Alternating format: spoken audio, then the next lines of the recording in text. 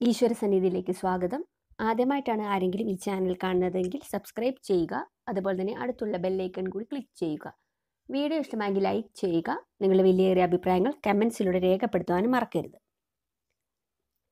വീടുകളിലെ പൂജാമുറിയിൽ ഭഗവാൻ ശ്രീകൃഷ്ണന്റെ വിഗ്രഹം അനിവാര്യമായ ഒന്നാണ്.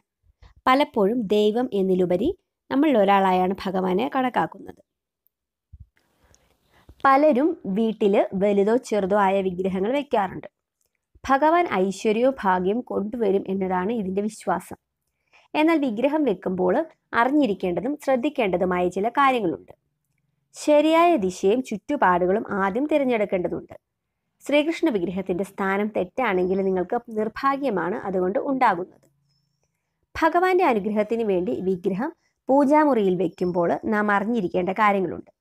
പൂജാമുറിയിൽ അല്ലെങ്കിൽ നമ്മളെ വീടിന്റെ ഏത് ഭാഗത്ത് വെച്ചാലും അത് വളരെയധികം ശ്രദ്ധിക്കേണ്ടതുണ്ട്. നാം വിഗ്രഹം സ്ഥാപിക്കുന്ന സ്ഥലം വളരെ പ്രധാനപ്പെട്ടതാണ്. വലിയ വിഗ്രഹമെങ്കിൽ വെക്കുന്ന തറയുടെ സ്ഥാനം ഉൾപ്പെടെ മനസ്സിലാക്കി വേണം വിഗ്രഹം സ്ഥാപിക്കുന്നതിന്. കണ്ണിന് നേരെ വരുന്ന പൊസിഷനിൽ വേണം വിഗ്രഹം സ്ഥാപിക്കാൻ. വിഗ്രഹത്തിന്റെ മുകളിലേക്ക് കാഴ്ച എത്താതെ നേരെ കണ്ണിലേക്ക് എത്തുന്ന രീതിയിൽ വേണം വിഗ്രഹം സ്ഥാപിക്കുന്നതും വിളക്ക് കൊളുത്തുന്നതിനും. ഇതാണ് പോസിറ്റിവിറ്റി നിറയ്ക്കുന്നതിന് വളരെ നല്ലത്. ഭഗവാന്റെ വിഗ്രഹം ഒരു ഒരു കാരണവശാലും മുറികളിലെ മൂലകളിൽ വെക്കരുത്. ഇത് നിങ്ങളിൽ ഐശ്വര്യക്കേടും സമാധാനക്കേടും നിറയ്ക്കുന്നു. അതുകൊണ്ട് തന്നെ വളരെയധികം ശ്രദ്ധിക്കുക. വാസ്തുപ്രകാരം വടക്ക് കിഴക്കൻ മൂലയിൽ ശ്രീകൃഷ്ണന്റെ വിഗ്രഹം സ്ഥാപിക്കുകയും ദർശനം എപ്പോഴും കിഴക്കോട്ട് പടിഞ്ഞാറോട്ടോ ആണെന്ന് ഉറപ്പുവരുത്തുകയും ചെയ്യുക. എന്നാൽ വിഗ്രഹം സ്ഥാപിക്കുന്ന മുറിയുടെ അടുത്തായി ഒരു കുളിമുറിയോ കിടപ്പ് മുറിയോ ഇല്ലാതിരിക്കുന്നതിന് ശ്രദ്ധിക്കുക. വീട്ടിൽ സ്ഥാപിക്കുമ്പോൾ ചുമരിന്റെ ദിക്കും ശ്രദ്ധിക്കണം.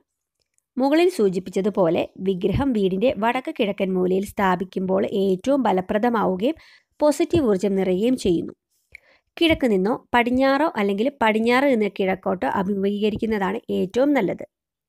പക്ഷേ ഒരിക്കലും വടക്ക് നിന്ന് തെക്കോട്ട് വിഗ്രഹം സ്ഥാപിക്കരുത്.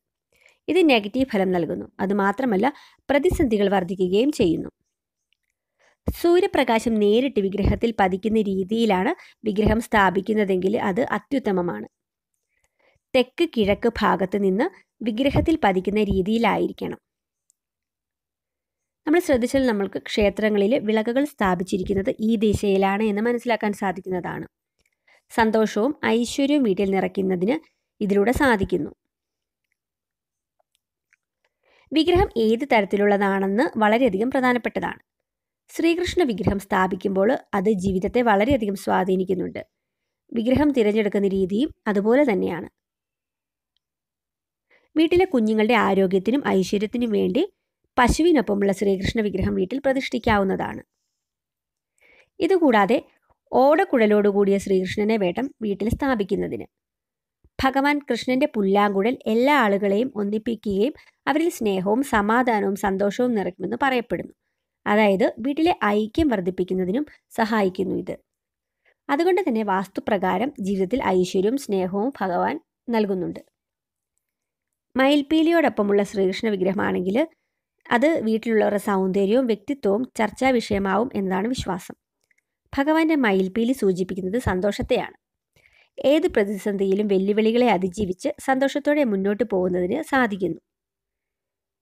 ഈ കാര്യങ്ങളൊക്കെ ശ്രദ്ധിച്ച് വേണം വീട്ടിൽ ശ്രീകൃഷ്ണ വിഗ്രഹം സ്ഥാപിക്കാൻ. വീഡിയോ കണ്ടതിന് നന്ദി. ഇതുപോലുള്ള വീഡിയോസ് ഇഷ്ടപ്പെടുന്നവർ ചാനൽ സബ്സ്ക്രൈബ് ചെയ്യുക. താങ്ക്